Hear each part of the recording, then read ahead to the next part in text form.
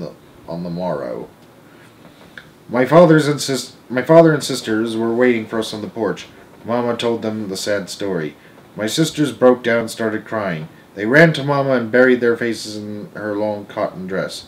Papa came over and laid his hand on my shoulder. Billy, he said, there are times in a boy's life when he has to stand up like a man. This is one of those times. I know what you're going through and how it hurts, but there's always an answer. The good Lord has a reason for everything he does. There couldn't be any reason for my dogs to die, Papa, I said. There just couldn't. They hadn't done anything wrong. Papa glanced at Mama.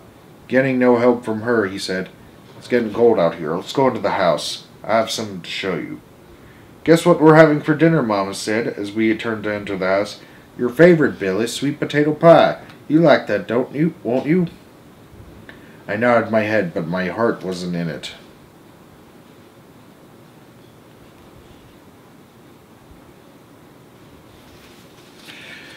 Papa didn't follow us into the kitchen. He turned and entered his room.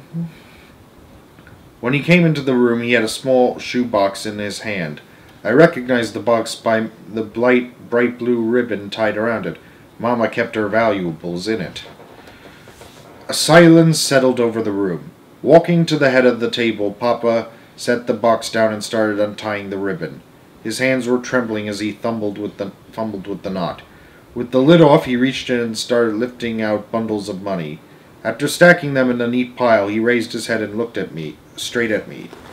Billy, he said, You know how your mother has prayed that someday we'd have enough money to move out of these hills and into town so that you children could get an education? I nodded my head. Well, he said in a low voice, because of your dogs her prayers have been answered. This is the money earned by old Dan and little Ann. I've managed to make the farm feed us and clothe us, and I've saved every cent your furs brought in. We now have enough. Isn't it wonderful? Mama said. It's just like a miracle. I think it is a miracle, Papa said. Remember, Bill, Billy said a prayer when he asked for his pups, and then there were our prayers. Billy got his pups. Though those through those dogs your prayers were answered. Yes, I'm sure it is a miracle. If he gave them to me, why did why did he take them away? I said, asked. I think there's an answer for that too, Papa said. You see, Billy, your mother and I had decided not to separate you from your dogs. We knew how much you loved them. We decided that when we'd move to town, we'd leave you here with your grandpa for a while. He needs help anyway. But I guess the good Lord didn't want that to happen. He doesn't like to see families split up. That's why they were taken away. I knew my father was a firm believer in fate. To him, everything that happened was the will of God, and in his Bible he could always find the answers. Papa could see that this talk had had very little effect on me. With a sorrowful look on his face, he sat down and said, Now let's give thanks for the food and all the wonderful things God has done for us. I'll say a special prayer and ask him to help Billy. I barely heard what Papa had to say. During the meal, I could tell no one was enjoy that no one was enjoying the food. As soon as it was over, I went to my room and lay down on the bed. Mama came in. Why don't you go to bed, she said, and get a good night's sleep. You'll feel better tomorrow. No, I won't, Mama, I said. I'll have to bury little Ann tomorrow. I know, she said as she turned my covers down. I'll help if you want me to. No, Mama, I said. I don't want anyone to help. I'd rather do it all by myself. Billy, you're always doing things for yourself, Mama said. That's not right. Everyone needs some help in this life. It's true. I know, Mama said, but please not this time. Ever since my dogs were puppies, we've always been together, just us three. We hunted together, we played together, we even went swimming together. Did you know, Mama, that little Ann used to come every night and peek in my window just to see if I was all right? I guess that's why I want to be by myself when I bury her. Now say your prayers and go to sleep. I'm sure you'll feel better in the morning. I didn't feel like saying any prayers that night. I was hurting too much. Long after the rest of my family had gone to bed, I was lay staring into the darkness, trying to think and not able to. Sometime in the night I got up, tiptoed to my window, and looked out at my doghouse. It looked so lonely and empty sitting there in the moonlight. I could see that the door was slightly ajar. That means open. I thought of the many times I had lain in my bed and listened to the squeaking of the door as my dogs went in and out. I didn't know I was crying until I felt the tears roll down my cheeks.